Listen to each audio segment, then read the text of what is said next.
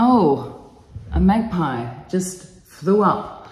Do you know in Australia, it's magpie season. And I don't know if you've ever been attacked by a magpie, but it is truly scarring. It is a one out of the box experience. Yes, of course, here I am with my beautiful French press. I, I was thinking about what to create next. And I was thinking what you would think about my last couple of pieces of content. And I thought, gee, gee whiz, I, I need to sit down and have a chat with you. Excuse me. Oh, it's not quite straight. It's a bit crooked. Isn't the sound just such a comforting sound? I have, I have lots of news. It's, uh, it's been just beautiful today because it's been raining and the animals have been out, which is wonderful. I'm going through a period of time without alcohol at the moment. So I think it's my sixth day without a glass of wine at night. And that's, that's uh, an achievement. I'm proud of that. And I've gone back to gym, uh, training very hard, which I've spilt that everywhere. Oh, I've spilt it everywhere. Aren't I a little grub?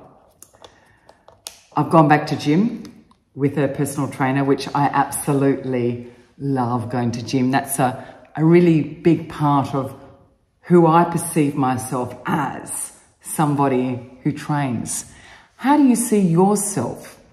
Is there a particular way you see yourself? Do you see yourself as an A, B, or C? Do you see yourself as someone who crochets, who reads books, who does sport? For me, animals, health, and lifting weights, fitness, has always been core to my spirit. Some of you are listening via audio, some of you are listening via video.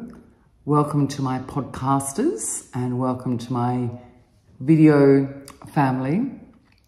Please consider sharing this content please consider commenting or uh, if you're on my podcast, posting a review.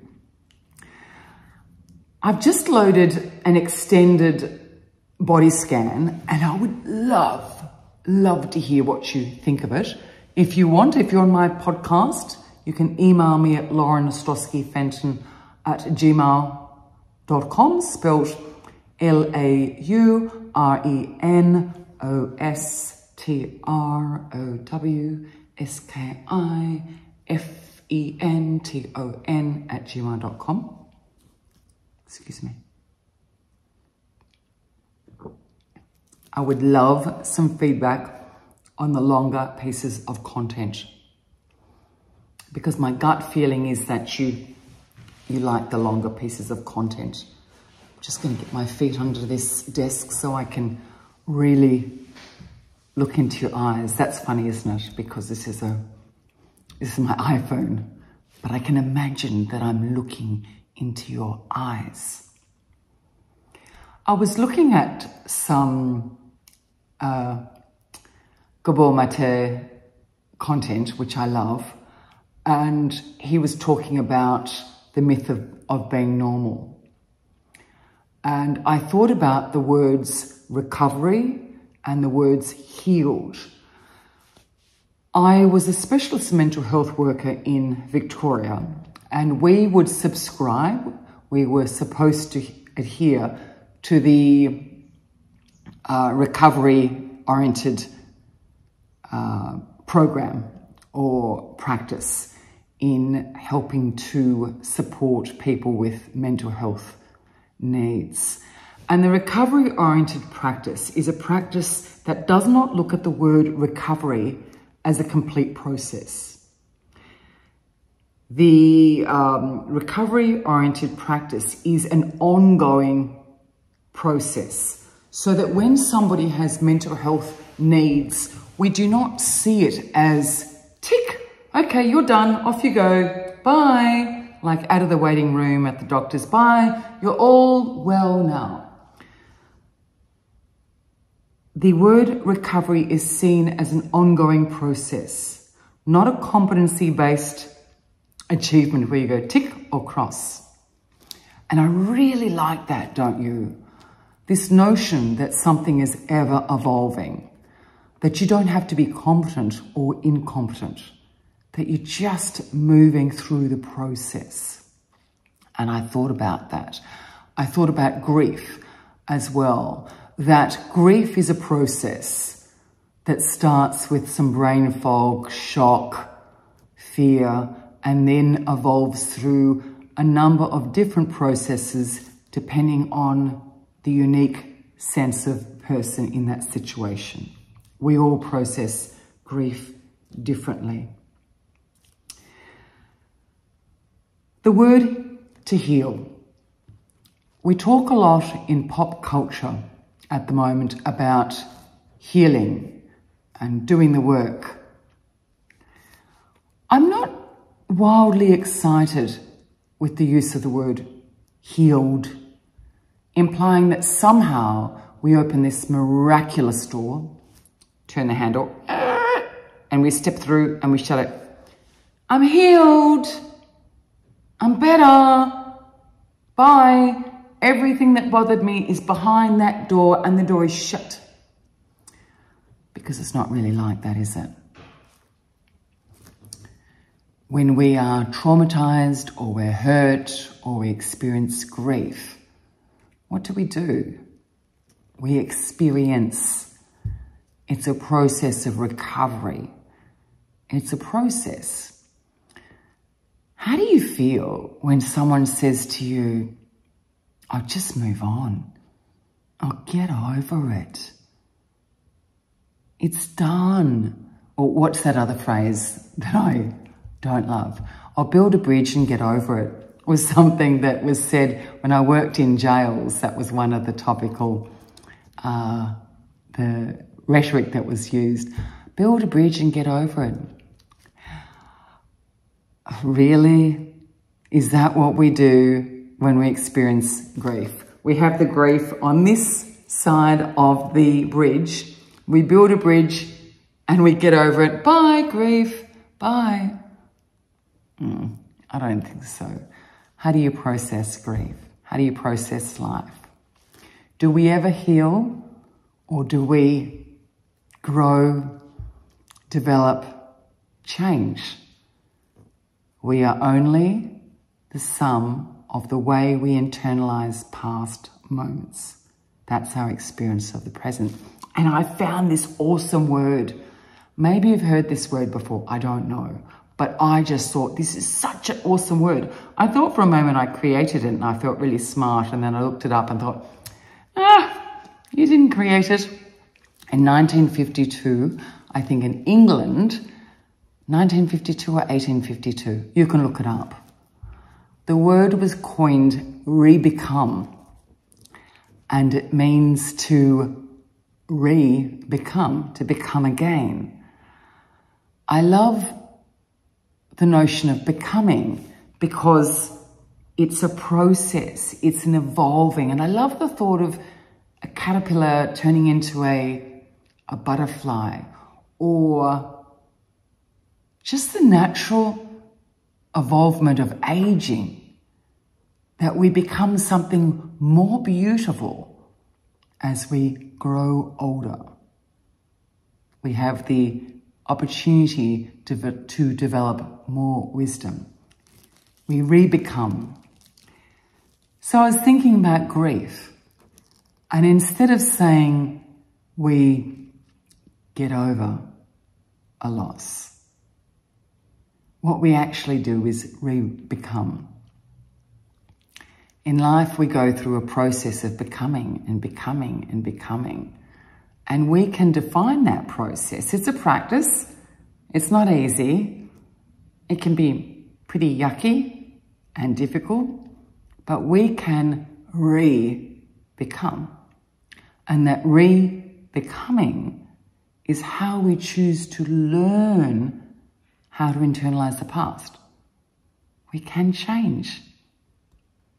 Not easy. Life is about becoming. And rebecoming is what we do when we move through grief. We don't move on, we move through, step by step. We don't build a bridge and get over it. We take one step at a time and we grow fitter. We develop wisdom. Our lens through which we see the world changes. Excuse me.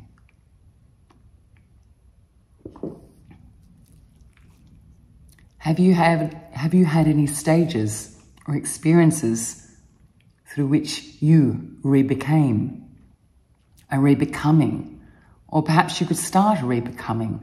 There was a story I heard today, and I can't remember the speaker. I wish I could. It was on, um, ah, I've forgotten.